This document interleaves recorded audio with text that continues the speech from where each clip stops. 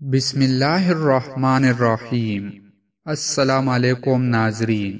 ناظرین، کبھی کبھی ایسے واقعات ہمیں دیکھنے اور سننے کو مل جاتے ہیں کہ عقل حیران رہ جاتی ہے اور زبان سے خود بخود ہی خدا کی حمد سنا جاری ہو جاتی ہے۔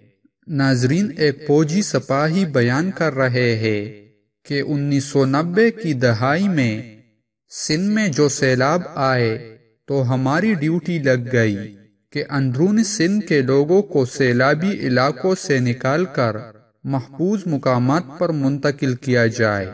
اس دوران ہم نے دریائے سندھ کے کنارے ایک جگہ کیمپ لگائے ہوئے تھے۔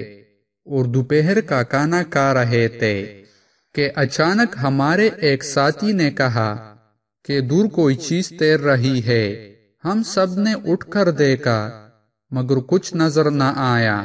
ہم سب پھر بیٹھ گئے اور کانا کھانے لگے۔ مگر پھر ہمارے اس ساتھی نے کہا کہ ادھر کوئی چیز ہے۔ ہم سب نے پھر اٹھ کر دیکھا۔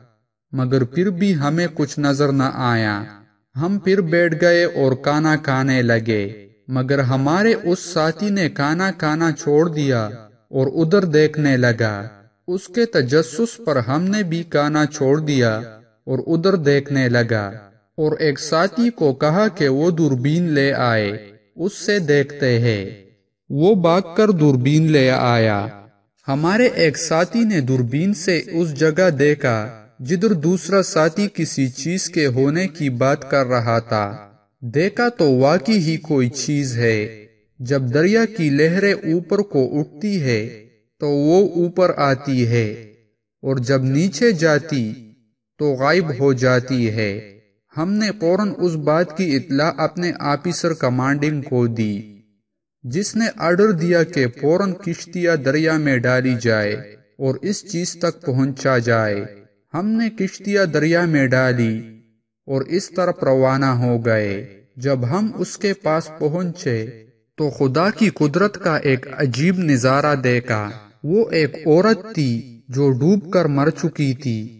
اس کے سینے پر ایک بچہ تھا جو زندہ تھا اور ماں کے دونوں بازو اس بچے کے گرد تھے اور ان دونوں بازوؤں پر ایک سانپ بل کائے لیٹا ہوا تھا تاکہ بازو نہ کلے اور بچہ سینے سے نہ گرے۔ ہم نے اس عورت کو اٹھا کر کشتی میں ڈالا اور کنارے پر لا کر سٹریچر پر ڈالا تو سم خود بخود ہی بالکل کر وہاں سے جانے لگا۔ ہمارے چند ساتھیوں نے سام کو مارنا چاہا، مگر ہمارے خطیب صاحب نے منع کر دیا کہ اس کو مت مارے۔ یہ عام سانپ نہیں ہے۔ تو ناظرین، یہ تھی ایک خوبصورت واقعہ جو آپ کے ساتھ شیئر کرنی تھی۔